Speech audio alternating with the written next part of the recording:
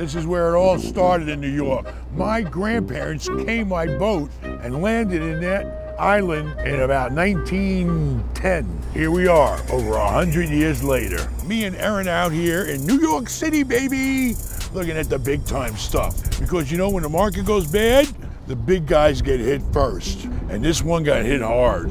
This hotel is not open right now. It has a court case pending in bankruptcy court. It's big money, but put up big money, you can make big money. The problem is unions, other people telling you how to run your business. Now, I believe in protecting workers, but when the unions get involved, they want to squeeze you. And that can destroy your business, unfortunately, especially in today's trying times. There's a lot of moving parts to this deal. You got union people you have to hire, you have to. Then it's built on land that the city of New York owns. So you have to pay a lease to the city of New York. So you don't own the land, you gotta hire people that you're forced to hire. It's a mixed project where the up top floors are mostly condominiums that are selling for millions of dollars. It was a very high brand. What happened was the guys didn't operate it properly and they took away the brand and they put their own name on there, which could survive here in New York too. But we got to really dig into the numbers because just owning this property, especially being closed, the carrying costs can be tremendous. You got taxes, lease payments, insurance. Now, if you get it open and you make enough money, it's all in the numbers. You got to see how much money can you project coming in and how much money you got going out. This property here, I believe at one time was probably worth at least 200 million. Okay, they owed the bank 120 million. The bank's willing to take 60 right now just to get out of it. So it could be a really good deal. But this is a very intense operating property, okay? Heavy, heavy management. You're in New York City. You're over here near the Statue of Liberty. We're in the heart of Wall Street. You're gonna be on your top game to play in this field. This is big time stuff. Do we have the money to do it? Yeah, we could raise the money to do it, but is it gonna make us money? Because with today's interest rates and the high cost of operating in New York City, you could also lose your shirt. You got city tax, you got state tax, you got federal tax, you got the hotel tax you got to charge and pay, you got sales tax, tax, tax, tax. That's the problem with these states. But it's definitely an interesting opportunity. It's something I've never looked at before in my career, something in this type of location. You know, this is like being on the Las Vegas Strip but in New York City. I mean, all we'd have to do is move here. We'd have to move here only for about a year Yeah. to get the place up and running and then flip it. There you go. You could probably make about at least 50 million. We're going to Sparks Steakhouse, where Gotti took care of Castellano and made himself the godfather. He whacked them right after he had a big steak. I wonder, was it before he went to the restaurant or after? I think it was as soon as he got there. He didn't even get his last meal. Just imagine, they were driving down the same street, getting ready to go whack the godfather.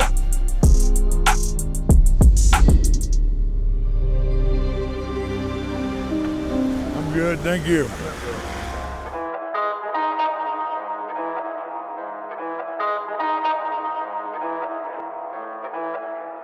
The other day I was reading letters you me. They could have lessened your sentence, but you made reckless decisions, and so they kept you in prison. All the lessons you give me during scheduled visits help with manifesting my vision. You blessed me with wisdom. Wasn't interested in dealing. I fronted runners and provided them with extra incentives. Collected debt with their interest. Ooh, look at that. Beautiful. Flexed it, but instead I reinvested my business. So what do you think? I think it's fabulous. Yeah? Magnificent, thank you. After dinner, I might need a doctor. You're my life, my everything. Uh, Oh, some things you things say, the you things you do. Nah, no matter how I I try. yeah, you want some steak? The, holy mackerel! He's got five bags of people say they took out of here. Thanks a lot. He's got a $500 meal in that bag. All right, You know, I've been investing in Masterworks and I've been telling other people to invest in it. Well, we're going to pay them a visit and see what's really going on over there and verify the inner workings of investing in art. Who designed that? You got to take an escalator to get to the elevator. Look at this. We're about 100 yards from the World Trade Center with the Jersey City skyline in the background. Look at that view, baby. So let's see what Masterworks is all about. Because if you're going to invest in something, do some homework. I gave him my money. Now let's see where my money went. Oh my God. I didn't know it was this big. This whole thing is the marketing department. This is a big market. Ben, nice to meet you. Abner? Boy, there's a lot of people in one room. I couldn't work in a room like this. I get kicked out. And look, they got a nice kitchen here. Can I open the fridge? That's a fridge, baby. Look at that. These are the techies. You look like a techie. You look really smart. These guys here, they control the website and the app, okay, and make it nice and simple and easy for you to invest in fine art. How are you? How are you? Hey, nice to meet you. Nice to meet you. What are we doing? We're hanging out looking for some art. You got anything for sale? Here we have them. We've got the CEO of Masterworks, the head honcho, Scott Lynn. You might have seen him on CNBC. He's here running this whole operation. How much art do you really have here, Scott? So, I mean, the, the business in general, we have a, we have over eight hundred million dollars in art now that people have invested in through the platform. Here at Masterworks, we have three or four paintings that are that are hanging now. Get back to work. You, you got to come more often. So this is our, our gallery within the office. We're, we're one of the largest collectors of an artist named Kusama. Um, she's one of the top artist markets that we track. I think we own probably more than a dozen Kusamas now, maybe more than a dozen and a half. But my guess is this is a two to three million dollar painting. Two to three million dollar painting. Sure. So this is a tarp by Keith Haring. He said, "No, I think we bought this for two to three million dollars. I think it's appraised down around four million. Um, so the, the value of these has gone has gone way up over time. How much for this? I really want this in my house. This is a giant TV. Marilyn Monroe. That's Marilyn Monroe, Andy Warhol. Um, this is This is a real Andy Warhol, Marilyn Monroe. really real Andy Warhol, Marilyn Monroe. The first painting ever that was was securitized, really, as, a, as an investment vehicle. I know that went up in value. Yeah, so we have over over 250 paintings, I think, that we've we've acquired and fractionalized now, and this is this is the very first one. Andy Warhol. That's big time. Right here, we have the acquisition department. These guys are the deal hunters. They look all over the world for the best deals in private art collections. So if you don't know much about art, you don't need to. We got this whole room full of people who that's all they do. They're experts. all this into spreadsheets. Um, they have, I think it starts down there at like the 70s or 60s, so that top, top right there. Yeah, we were the first people to do that, basically. There are other databases, and the auction houses have their own things, but if you're trying to get a market global view, you got to start from scratch. So.